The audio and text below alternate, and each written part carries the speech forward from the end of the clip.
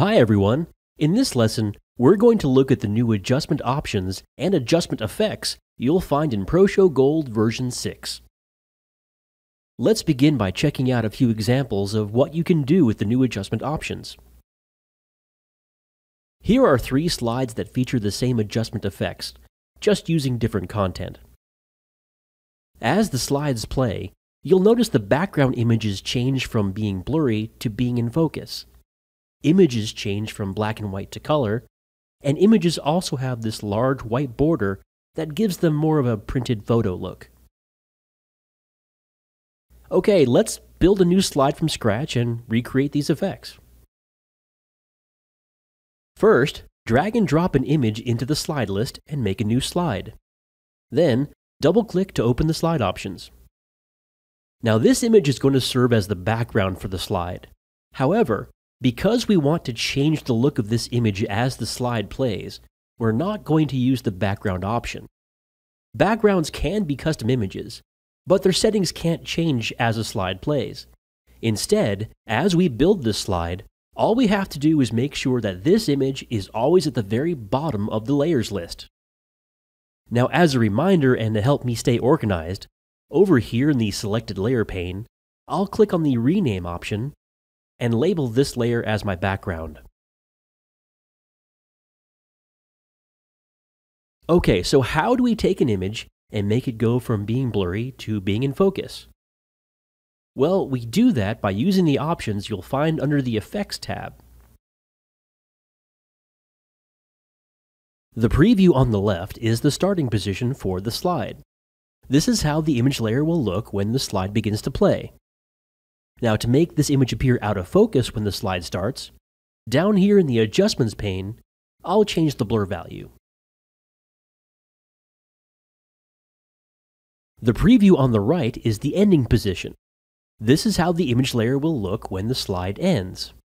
To make sure this image appears completely in focus at the end of my slide, I'm going to click on the preview and then make sure all of these adjustment settings are set to zero. When I preview the slide, just like in the example, the image starts off blurry, then comes into focus as the slide plays. Now let's add another image to this slide. Now I can click on the Add icon here in the Layers list and choose a new image, or I can move the Slide Options window over just a little bit and then drag a new image in directly from the file list. Now remember, we want the first layer we worked on to always appear at the bottom. So I'll use the up and down arrows in the layers list to change the layer order.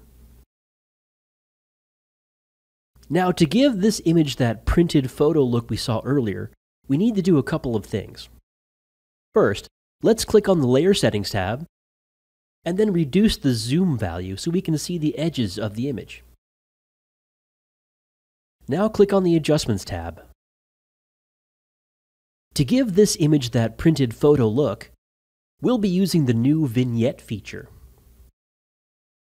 Traditionally, a vignette looks something like this, a round or elliptical shape with a soft blended edge.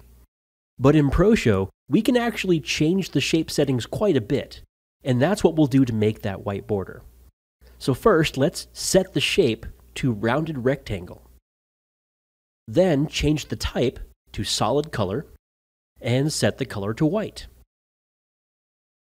Now to give this vignette a hard edge, we'll select both the solid borders and fill corners options.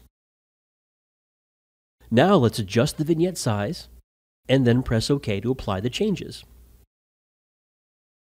In the examples, we saw many of the images change from black and white to full color. So let's do that with this layer.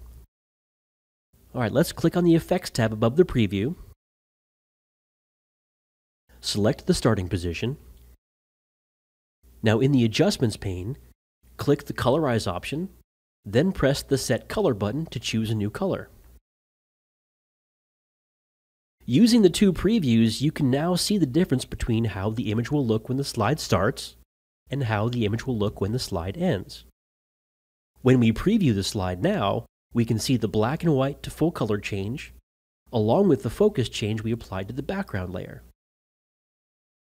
Now to match the original examples, let's use a shortcut or two to wrap this slide up. Click on the Layer Settings tab, select Layer 1, and in the preview, click and drag Layer 1 over to the left. Now in the Layers list, right-click on Layer 1 and select Duplicate Layer. This will make an exact copy of the layer, including the vignette settings and the adjustment effect we just created. Now right-click on Layer 1 again, but this time choose Select File. This opens up a Windows file browser. From here, we can pick a different image for Layer 1, but all the settings stay the same. Now once we find a replacement image, let's take Layer 1 and move it over to the right. You can click and drag in the preview using your mouse, or use the position options down here in the Layer Setup pane. Finally, let's add a caption.